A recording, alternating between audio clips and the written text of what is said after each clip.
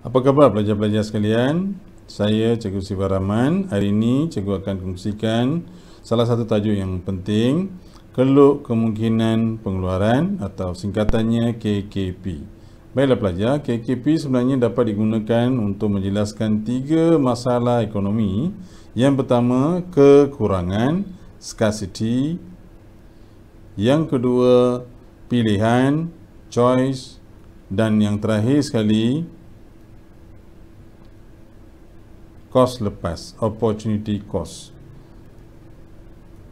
Dan sebelum kita melihat lebih lanjut berkenaan uh, analisis KKP, kita perlu buat beberapa andaian-andaian yang penting. Ya. Yang pertama, ekonomi mengeluarkan dua jenis barang sahaja, tingkat teknologi tidak berubah, sumber ekonomi tetap dari segi kuantiti dan kualiti. Terakhir sekali, sumber ekonomi digunakan secara cekap.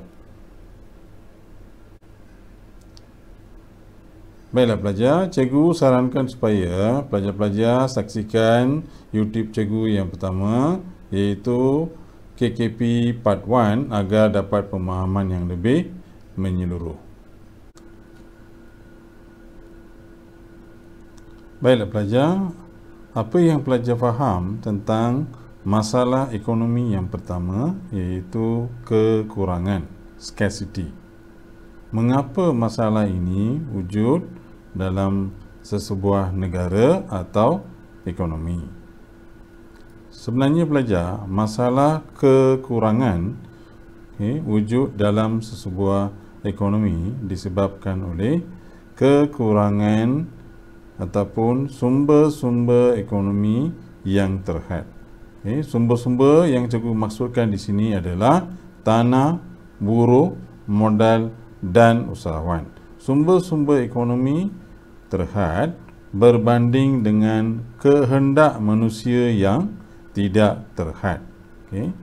Maka apabila wujud suatu keadaan di mana okay, sumber-sumber ekonomi terhad, di sebaliknya kehendak manusia pula tidak terhad, wujudlah masalah kekurangan. Okay. Baiklah pelajar, sebelum kita melihat lebih lanjut, kita perlu mengetahui tentang pelaku-pelaku ekonomi atau unit-unit ekonomi. Unit-unit ekonomi terdiri daripada isi rumah, firma dan kerajaan. Dan uh, untuk pengetahuan pelajar, ketiga-tiga unit ekonomi ini menghadapi masalah ekonomi iaitu kekurangan pilihan dan kos lepas. Baiklah, mari kita perincikan isi rumah menghadapi masalah kekurangan kerana pendapatan terhad. Firma pula menghadapi masalah kekurangan kerana sumber ekonomi tidak mencukupi. Dan akhir sekali, kerajaan turut menghadapi masalah kekurangan kerana hasil kerajaan tidak mencukupi. Baiklah pelajar, mari kita lihat bagaimana salah satu unit ekonomi iaitu isi rumah dengan pendapatan terhad menghadapi masalah kekurangan. Kita andaikan eh, isi rumah ini berpendapatan RM4,000 okay, dengan RM4,000 okay, isi rumah tidak dapat memiliki semua barang yang dikehendaki kerana pendapatan terhad. Maka kita andaikan di sini isi rumah ada dua pilihan eh, Okey, katakan isi rumah ini ingin memiliki peti sejuk dan televisyen. Okey, peti sejuk berharga RM4000 manakala televisyen berharga RM3800. Dengan pendapatan yang cukup sebut tadi sebanyak RM4000, isi rumah tidak dapat memiliki kedua-dua barang ini iaitu peti sejuk dan televisyen kerana pendapatan yang sedia ada tidak mencukupi. maka isi rumah terpaksa buat pilihan sama ada untuk membeli peti sejuk ataupun televisyen. Baiklah pelajar, okay. Agaknya apakah barang yang akan dipilih oleh isi rumah? Televisyen atau peti sejuk? Baiklah, kriteria untuk menentukan sama ada isi rumah memilih televisyen atau memilih peti sejuk adalah kepuasan yang diperoleh. Okay. Isi rumah akan memilih barang yang dapat memaksimumkan kepuasan. Okay. Apabila isi rumah membuat pilihan, okay, maka ianya membawa kepada satu lagi masalah iaitu masalah ekonomi yang seterusnya iaitu kos lepas. Okay. Mari kita lihat takrifan kos lepas.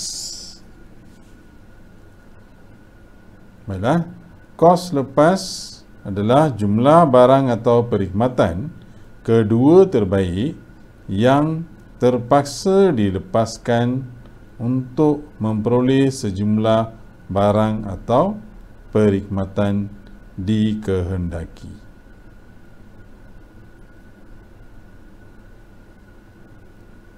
Seperti yang cikgu dah terangkan tadi, isi rumah dalam contoh tadi ada dua pilihan, sama ada memilih peti sejuk atau televisyen. Okay. Seandainya isi rumah memilih peti sejuk, maka kos lepasnya sudah pasti televisyen.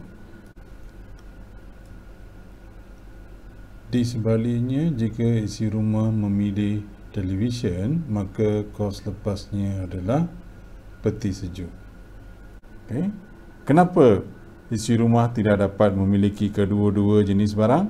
Kerana pendapatan tidak mencukupi atau pendapatan terhad. Okay.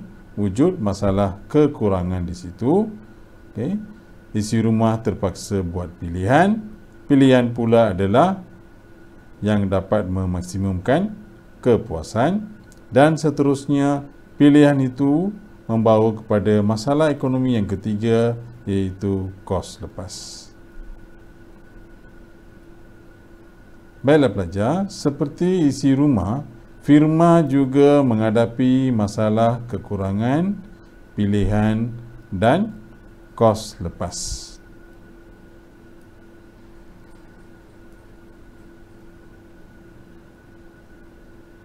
Okey ya, apakah masalah kekurangan atau mengapa firma menghadapi masalah kekurangan? Ni kerana faktor-faktor pengeluaran atau sumber-sumber ekonomi tidak mencukupi.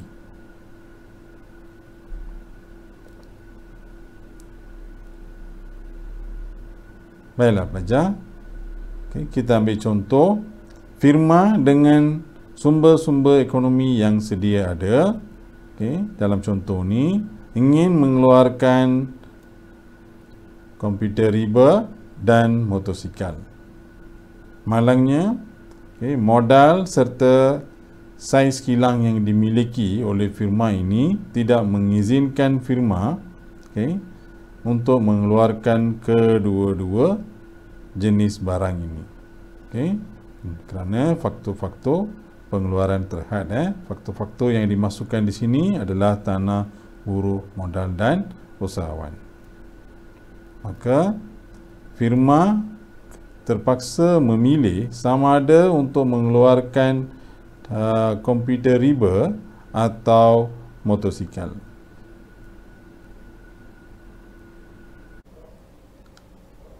Baiklah pelajar, masalah kekurangan dihadapi oleh firma iaitu kekurangan faktor-faktor pengeluaran menyebabkan firma terpaksa membuat pilihan okay.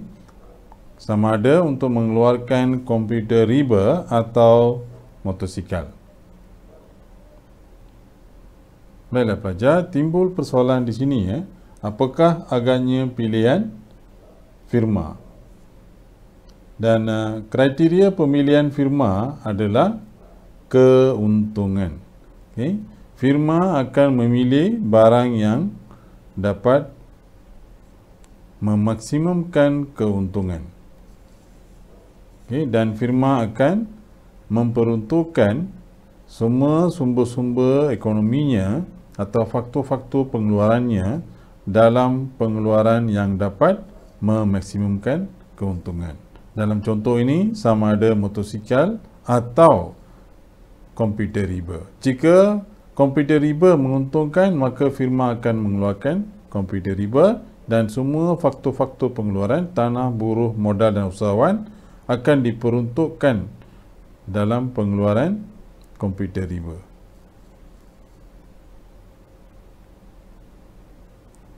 Baiklah pelajar.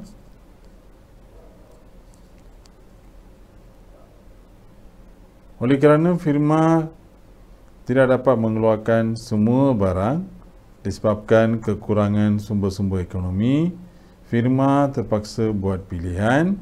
Andaikan firma memilih untuk mengeluarkan komputer riba, maka kos lepasnya adalah hasil yang diperoleh daripada pengeluaran motosikal iaitu pilihan kedua terbaik. Okey. Berkeadaan yang sama juga jika firma memilih untuk uh, mengeluarkan motosikal maka kos lepasnya adalah hasil yang diperoleh uh, daripada keluaran komputer riba yang akan menjadi pilihan kedua terbaik. Baiklah pelajar, seperti isi rumah dan firma, kerajaan juga menghadapi masalah kekurangan. Okay, apakah agaknya masalah kekurangan yang dihadapi oleh kerajaan? Kerajaan menghadapi kekurangan ataupun hasil kerajaan tidak mencukupi untuk melaksanakan semua projek-projek yang diidamkan. Okay, ataupun yang dirancang. Okay. Dan uh, pelajar-pelajar Cuba fikirkan dari mana agaknya kerajaan mendapatkan hasilnya. Baiklah, hasil kerajaan sebenarnya cukai dan bukan cukai. Okay, kita ambil contoh di sini. Okay. Kerajaan menghadapi kekurangan hasil iaitu hasil cukai dan hasil bukan cukai dan kerajaan juga terpaksa buat pilihan. Dalam contoh ni, okay, andaikan kerajaan ada pilihan sama ada untuk membina hospital atau sekolah. Maka apakah agaknya kriteria yang menentukan pilihan kerajaan? Ya, kerajaan akan memilih projek yang dapat memaksimumkan kebajikan okay, kebajikan rakyat. Okay, jika kerajaan memilih okay, hospital, maka kos lepasnya adalah sekolah. Okay, projek sekolah yang terpaksa ditangguhkan ataupun uh, tidak dilaksanakan. Okay, di sebaliknya, jika kerajaan memilih okay, untuk membina sekolah maka kos lepasnya adalah hospital, projek hospital yang ditangguhkan atau tidak dilaksanakan. Keluk kemungkinan pengeluaran. Okay, sebenarnya keluk kemungkinan pengeluaran dapat digunakan untuk menjelaskan masalah kekurangan, pilihan dan kos lepas. Baiklah, pelajar-pelajar sekalian, masalah kekurangan. Masalah kekurangan ditunjukkan oleh titik W yang terletak di luar keluk kemungkinan pengeluaran. Pada titik W jumlah basikal adalah sebanyak 9 unit dan jumlah telefon bimbit adalah sebanyak 3 unit. Okay. Kombinasi ini tidak dapat dikeluarkan okay, iaitu kombinasi W tidak dapat dicapai atau dikeluarkan kerana okay, faktor-faktor pengeluaran tidak mencukupi okay, ataupun faktor-faktor pengeluaran terhad. Okay, pembentukan keluk kemungkinan pengeluaran cikgu dah jelaskan dalam uh, YouTube uh, KKP part 1 eh. So uh, kalau uh, pelajar perhatikan okay, kombinasi P di mana uh, negara hanya fokus pada pengeluaran basikal ataupun disebut sebagai pengususan iaitu sebanyak 14 unit basikal dikeluarkan dan kosong telefon bimbit okay, atau tiada telefon bimbit dikeluarkan ataupun negara boleh memilih kombinasi Q di mana satu unit telefon bimbit dikeluarkan dan 12 unit basikal dikeluarkan. Okay, bilangan basikal telah berkurang sebanyak 2 unit apabila uh, jumlah telefon bimbit ditambah. Okay. So 2 unit yang dikurangkan itu merupakan kos lepas yang kita akan uh, perincikan kemudian. Eh dan uh, kombinasi yang lain pula kombinasi R iaitu 9 basikal 2 telefon bimbit dan seterusnya 5 basikal dan 3 telefon bimbit yang seterusnya kombinasi yang seterusnya kesemuanya adalah 4 telefon bimbit dan kosong unit basikal sebenarnya negara boleh memilih mana-mana kombinasi di sepanjang keluk kemungkinan pengeluaran sama ada titik P, Q, R, S ataupun T.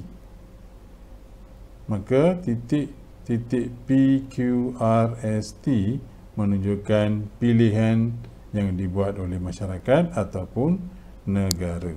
Okay.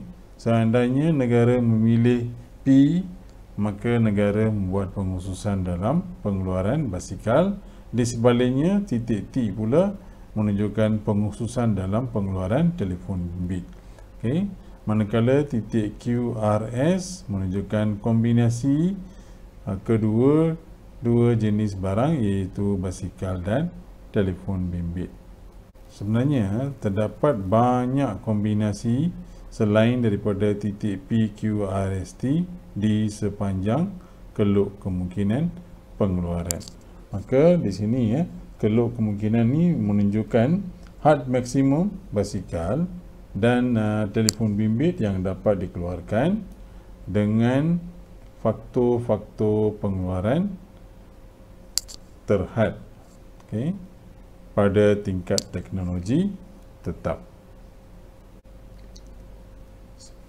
Pilihan sepanjang keluk kemungkinan pengeluaran juga menunjukkan pilihan yang cekap di mana faktor-faktor pengeluaran atau sumber-sumber ekonomi telah digunakan dengan cekap atau sepenuhnya di sepanjang bagi sebarang kombinasi keluaran di sepanjang keluk kemungkinan pengeluaran.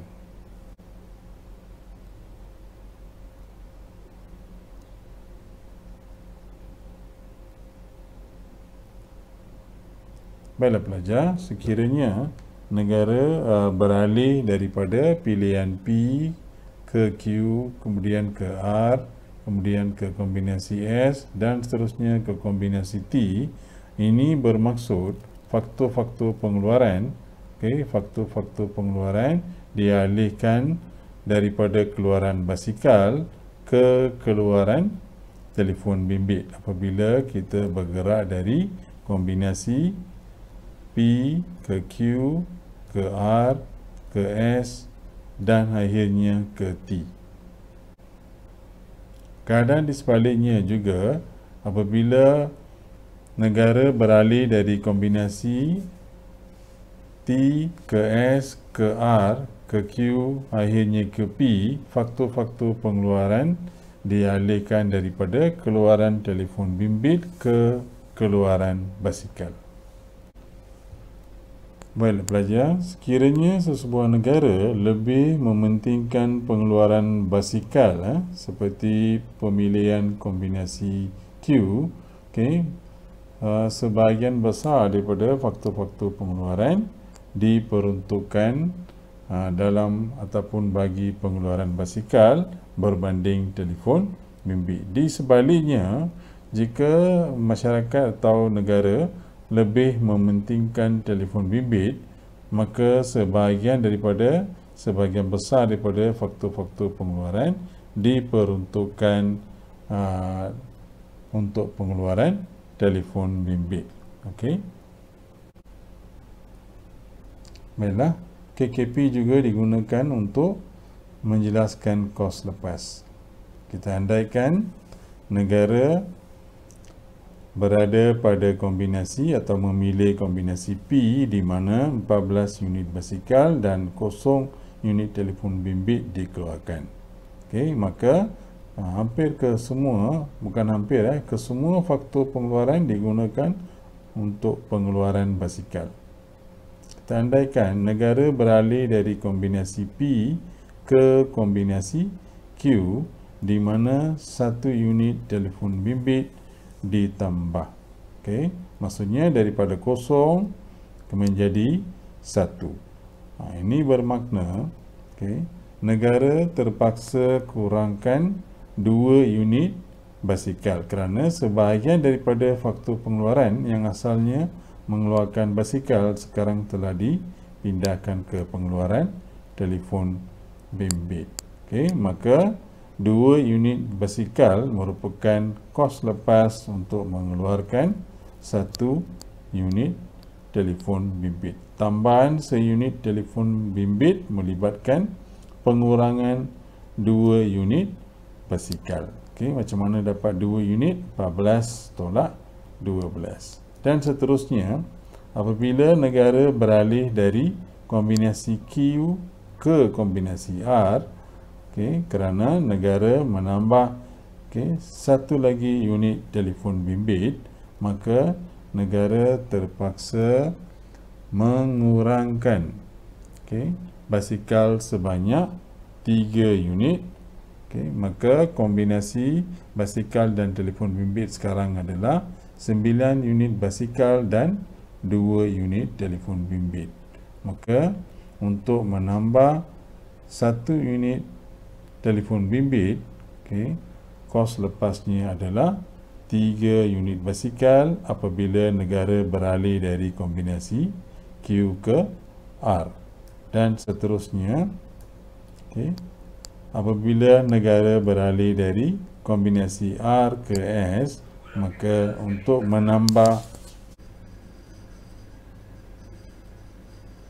untuk menambah satu unit telefon bimbit.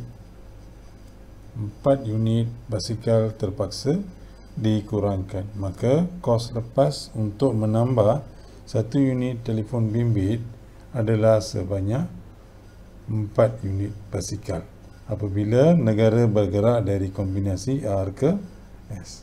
Dan seterusnya apabila negara terus menambah telefon bimbit sebanyak satu unit iaitu apabila bergerak dari kombinasi S ke T maka kos lepas untuk menambah satu unit telefon bimbit adalah 5 unit basikal di mana pada kombinasi T tiada basikal dikeluarkan kesemuanya adalah telefon bimbit.